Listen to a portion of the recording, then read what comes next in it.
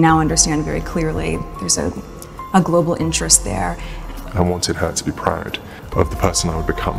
I didn't want her. So, I want you to hear the truth from me, as much as I can share. Not as a prince. On behalf of all my family, I can only offer. Después de un notable distanciamiento, los príncipes Harry y William reaparecieron este sábado 10 de septiembre junto a sus esposas Kate y Meghan en el castillo de Windsor, donde contemplaron las ofrendas florales que las personas le dejaron a la reina Isabel II, quien tristemente perdió la vida el pasado jueves.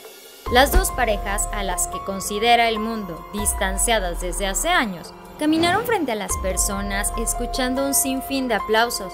De hecho, en varias ocasiones, tanto William y Harry como Kate y Meghan se detuvieron a conversar con las personas. Recordemos que el distanciamiento entre los hijos del rey Carlos III y Diana de Gales comenzó cuando Harry y Meghan decidieron retirarse de la monarquía para instalarse en los Estados Unidos en el 2020. Sin embargo, la ruptura se consumó en marzo del 2021, cuando los duques de Sussex dieron a conocer en una entrevista con Oprah que Kate Middleton había hecho llorar a Meghan, además de que señalaron a la familia real de hacia Meghan y sus orígenes. Desde ese momento, Harry mantenía una relación bastante tensa con su hermano William y su padre, quien este viernes tuvo su primer discurso televisado como rey. En este mencionó que le tenía bastante amor a su hijo Harry y a su esposa Meghan. Mientras tanto, los ahora príncipes de Gales se mudaron a una vivienda ubicada en los terrenos de Windsor, con el objetivo inicial de estar más cerca de Isabel II antes de que ella perdiera la vida. Los hijos de Kate y William, los príncipes George, Charlotte y Louis, también iniciaron un nuevo ciclo escolar en un nuevo colegio próximo a la localidad de Ascot, muy cerca del castillo. La presencia de Meghan y Harry ha sorprendido mucho a la multitud y a los medios. Esto después de que Meghan diera a conocer todos los contratiempos que tuvo con la familia real, asegurando que después de su boda con el príncipe Harry nadie la trató bien. De hecho, el día jueves, cuando la reina perdió la vida, pudimos ver cómo Harry llegó completamente solo al castillo de Windsor para ver a su abuela. Muchos empezaron a preguntarse, ¿por qué no lo acompañó Meghan? Pues sí se dijo, que probablemente la familia real no quería que ella estuviese ahí presente.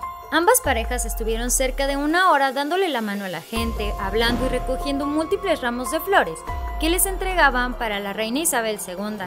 William, príncipe de Gales, se acercó a la gente congregada cerca del castillo de Windsor, agradeciendo profundamente su presencia y el amor que le tenían por su abuela. Desde el año pasado, los duques de Sussex viven en California junto a sus dos hijos pequeños, Archie y Lilibet. Mientras tanto, en su primer discurso como rey, Carlos III otorgó los títulos de príncipe y princesa de Gales a su hijo mayor William y a su nuera Kate, transmitiendo ese título que anteriormente le pertenecía a él y a Lady Di. Después de estar un buen tiempo con la gente en Windsor este sábado, las dos parejas se subieron a sus respectivos vehículos, los cuales los llevaron de vuelta al castillo. Por el momento no se ha mencionado si Harry y William han tenido la oportunidad de estar a solas y conversar, de igual manera se desconoce si Harry ha platicado a solas con su padre, el ahora rey Carlos III. Esto fue Famosos de Cerca. Dale like a este video, suscríbete a nuestro canal de YouTube y síguenos en Facebook. Recuerda que puedes ver todos nuestros videos. Espero que tengas un hermosísimo día. Nos vemos muy pronto. Bye.